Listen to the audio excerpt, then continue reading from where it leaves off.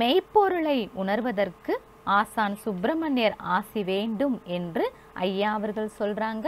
வாங்க என்ன சொல்றாங்கன்னு கேட்கலாம். நுட்பமான அறிவு வருவதற்கு எப்படி வேண்டும்? நூல்கள் படிக்கலாம். படித்த நூல்களுக்கு நுட்ப அதில் இருக்கிற ரகசியங்கள் மெய்ப்பொருளை பற்றி நன்கு உணர்வதற்கு ஆசி இருக்க வேண்டும். நல்வன நல்வனை இருக்க வேண்டும். பூஜை செய்திருக்க வேண்டும். யாரை பூஜை செய்திருக்க வேண்டும்? அறிவு கடலாக அறக்கடலாக. அறிவு கடல் அறக்கடலாக இருக்க ஞானிகளை வணங்கினால் என்று நூல் அறிவு இருந்தும் பயன்படாது.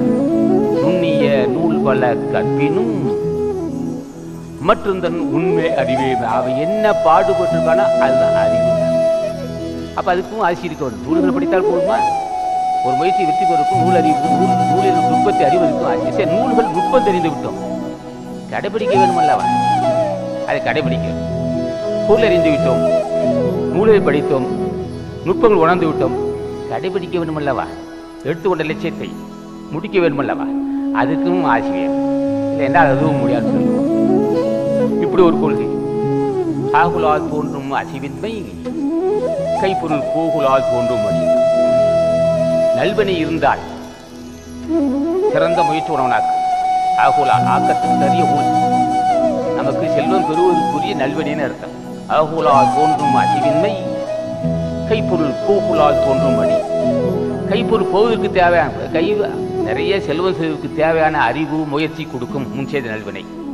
போகுங்காலம் வந்தால் என்ன ஆகும்னா எதை தொட்டாலும் ஒன்றுக்கு ஒன்று செய்து இருப்பான் மடி என்பது சோம்பல். அறிவு மங்கி போயிடும் செயலும் செயல்பட அப்படியே மாசம் மாசம் மாசம் இருக்கும்.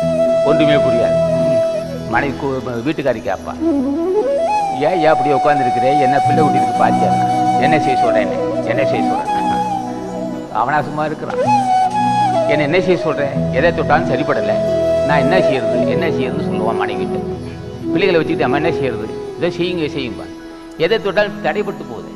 ஆக செய்த காரியத்தில் தோல்வி மேலும் செய்வதற்குரிய சோம்பல்.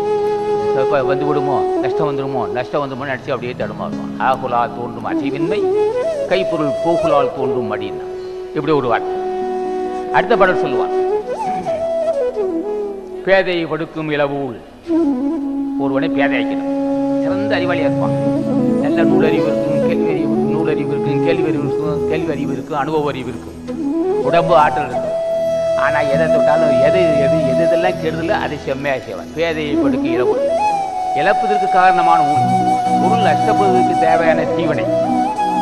பேதையை படுக்கும் இளவுள் அறிவகற்றும் ஆகலூல் உற்ற கடை. கடையான இடம் அறிவகற்றும் விரிவும். அறிவு சிறந்த விரிவடையும் நல்வினை மிகுந்தால் அறிவு சிறப்பாக மேலும் விரிவடைந்து. போகும் சிறந்த அறிவு உண்டாகும். முன் செய்த பாவம் ஒருவனை மடையனாக்கும் ஆசானது அருளுரைகளை தொடர்ந்து கேட்க அரங்கர் டிவிக்கு லைக் பண்ணுங்க சப்ஸ்கிரைப் பண்ணுங்க. மறக்காம பெல் பட்டனையும் கிளிக் பண்ணுங்க.